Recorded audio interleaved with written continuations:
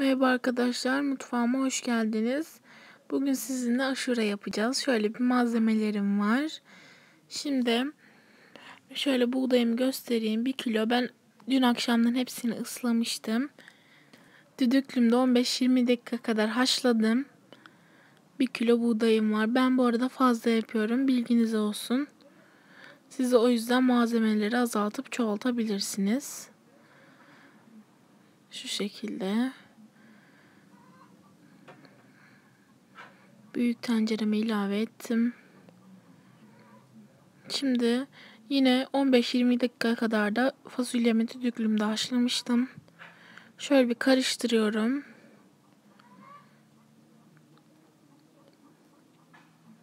Şimdi haşlıyorum. Üzerine bayağı bir su dolduracağız. Evet arkadaşlar şöyle bayağı bir sıcak su ilave ettik.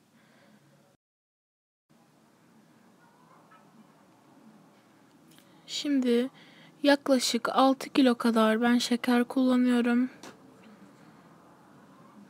Toz şeker şöyle kattım. Şöyle karıştırıyorum bir arkadaşlar şekerimi de ilave ettikten sonra. Şimdiden bile güzel gözüküyor. Suyu bembeyaz. Şöyle ara sıra karıştırıyorum. Bu arada arkadaşlar sizler nasılsınız yorumlara yazabilirsiniz. Şöyle arkadaşlar içerisine katacağım diğer malzemelerimi de göstereyim. Şöyle. Şurada yarım kilo kadar fıstığım var soyulmuş bir şekilde. 300 gram cevizim var. 300 gram bademim var.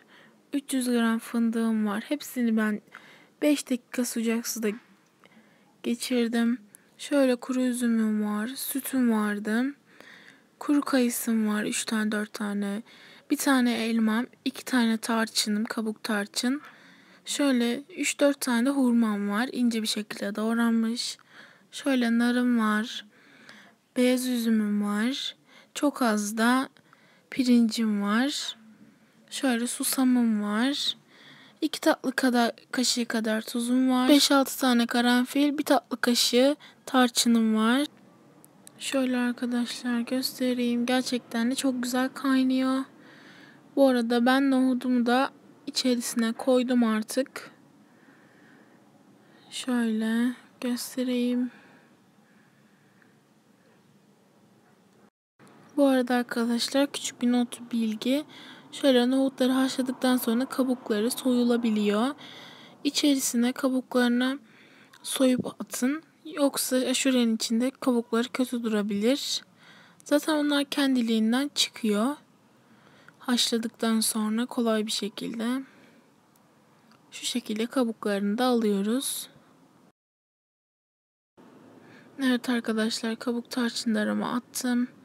Şöyle karanfillerimi de attım. Bir 10 kadar karanfilim var. Pirincimi attım. Şöyle 2-3 kaşık pekmezim var. Pekmezimi ilave ettim. Şimdi artık çerezlerini koyacağım. Şöyle fıstığımı koyuyorum. Cevizimi koyuyorum. Fındığımı koyuyorum. Şöyle bademimi de koyuyorum. Şöyle arkadaşlar yarım litre kadar da sütümü ekliyorum. Sütümü ekleme sebebim aşuremin renginin siyah değil beyaz olması. Şöyle susamımı ekliyorum. Ben susamı hafif kavurdum ve dövmüştüm biraz. Şöyle hurmam, elmam ve kuru kayısımı ekliyorum. Bu arada arkadaşlar üzümleri en son ekleyeceğiz. Artık altını kapatmaya yakınken ekleyeceğiz. Şöyle karıştırıyorum. Şimdiden bile gayet güzel gözüküyor. Evet arkadaşlar aşuram artık bayağı bir oldu. Şöyle göstereyim. Çok güzel gözüküyor. Şimdi toz tarçınımı üzerine atıyorum. Şöyle artık kapatmaya yakın olduğu için ekliyorum. Gerçekten de çok güzel gözüküyor. Şimdi şöyle bir karıştırıyorum.